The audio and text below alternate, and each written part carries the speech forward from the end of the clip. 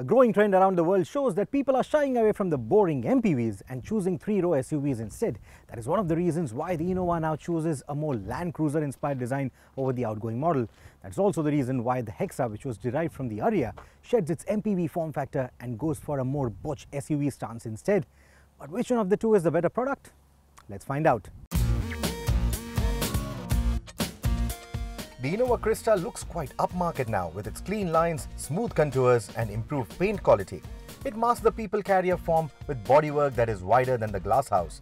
Sharp designs for its headlights and taillights and flared wheel arches contribute further to that effect. It employs LED headlamps with projector beams, a smart-looking two-slat grille and large bumpers that give it a muscular stance. But the lack of any skid plates, roof rails or protective cladding does take away from its ambitions of looking more SUV than people carrier. But overall, the design is quite pleasing to the eye and does not look like a boring bread box on wheels. The Aria-derived Hexa does a better job at sharing its previous MPV form and donning a more butch stance. Contributing to that effect are the massive 19-inch wheels, the chunky bodywork, the wide grille and the pullback headlights with their smoke finish and sinister-looking detailing. The horizontal taillights and the wide chrome bar connecting them highlight its width. Speaking of which, the Hexa is wider, longer and almost as tall as the Crysta.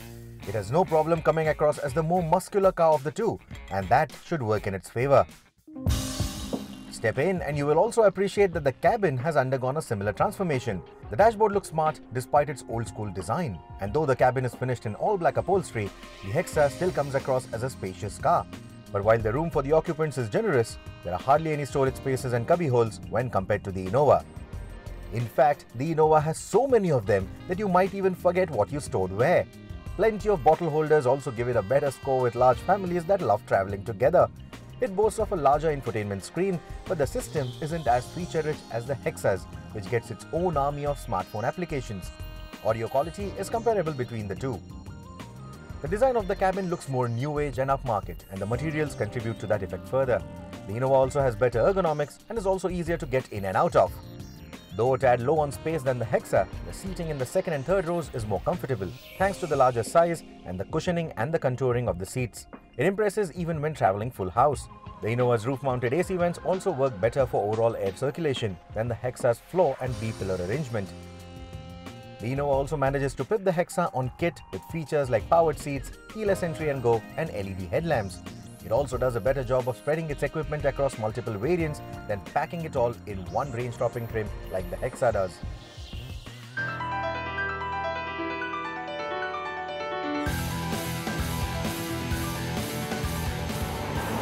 The cabin of the Innova Crysta is a really nice place to be in, feels quite pleasant in here.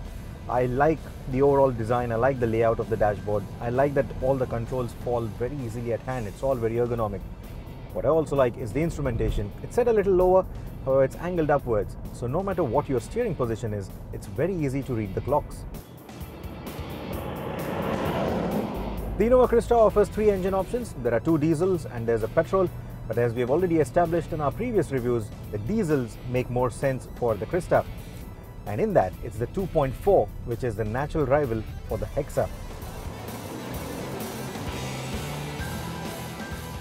It can be had only with a 5-speed manual transmission. The automatic only comes on the 2.8. With an output of 140 PS and 343 Newton meters, it certainly isn't as powerful as the unit in the Hexa, but the performance figures suggest otherwise with quick acceleration and roll-on figures even with a full house. I quite like this motor. It feels quite eager, quite refined for an MPV. It revs quite cleanly as well, and the meat of the power and the torque is delivered at a little over 2000 RPM. So overtakes don't really need any sort of planning. You can just pull them like that. And driving in city, you won't need frequent gear shifts. Speaking of gear shifts, they feel a tad notchy. The clutch isn't too heavy, but the pedal has a springy nature to it. Add to it the heavy steering and the Innova becomes quite a handful to drive in city conditions. The Innova Crysta continues to use a body-on-frame construction like its predecessor. However, though it takes on undulations and potholes really well, if you're running a light load or with just a couple of people in the car, it does tend to feel a little bouncy when you're hitting these undulations. Load it up, have a full house, and the ride quality is much better. It feels quite taut around bends with relatively low vertical movement for a vehicle this tall. Handling isn't unnerving then. Braking is quite good too, both under light as well as full load.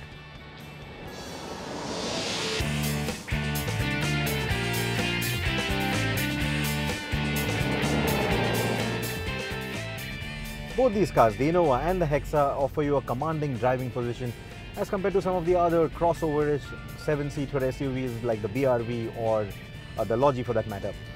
As far as getting a judgment of the vehicle goes though, or the all-round visibility goes, the Hexa does a better job than the Innova. It edges ahead of the Innova with a slimmer dashboard profile, a broader bonnet which gives you an easier judgment of the frontal length or the frontal corners. The Hexa only comes with a diesel motor and lets you choose between two states of tune. The range-topping one that we are driving right now gives you 400 Newton meters of twist from its 2.2 litre Varicor motor.